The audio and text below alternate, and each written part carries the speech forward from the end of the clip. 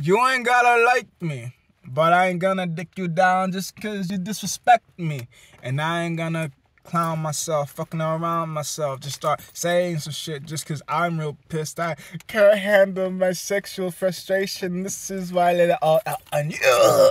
You fuck. Ah, nope, not me. Won't never see screenshots of E being so ill, ill. What the fuck is wrong with you? You, well, I'm just a fucking dude. Dude, what do you expect me to do? Do she wouldn't want to screw, so I called her a hoe, a bitch, a slut. Come on, she don't want to fuck, so I lost all my fucking shit. Don't know why those people think they can live. Don't know why they be pissing in the gene pool and still be having kids. Don't know why. How the fuck do they always multiply? Don't know why. I guess they just really like the scummy dummy shit. I guess they really fall for the scripts. I don't know how they say they're smarter than us, but still fall for the dicks. Where the good men at? I don't fucking know. You probably like, mm, mm, too nice though. No, no, not exciting. No, no, couldn't give a fuck because they don't want to fuck me and disrespect me. I just think some of the ladies that just be out here fucking shouldn't be able to reproduce.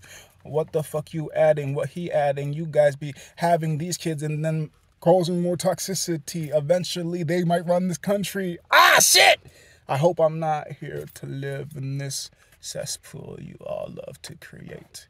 Separation and hate when we could love.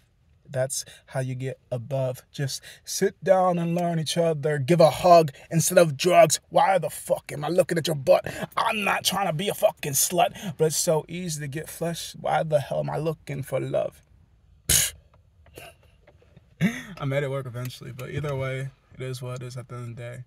I loved you, but that was quick. was it lust? Yeah.